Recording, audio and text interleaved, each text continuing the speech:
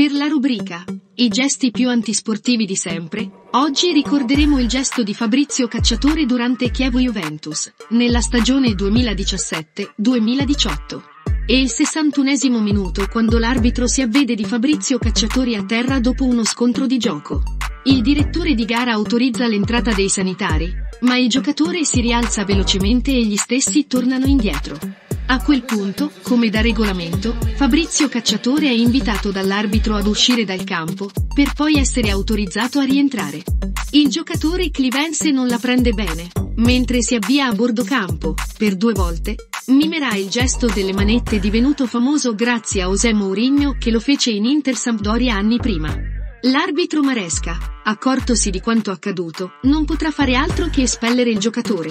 Supportate il nostro lavoro con un mi piace al video e l'iscrizione al canale. Grazie.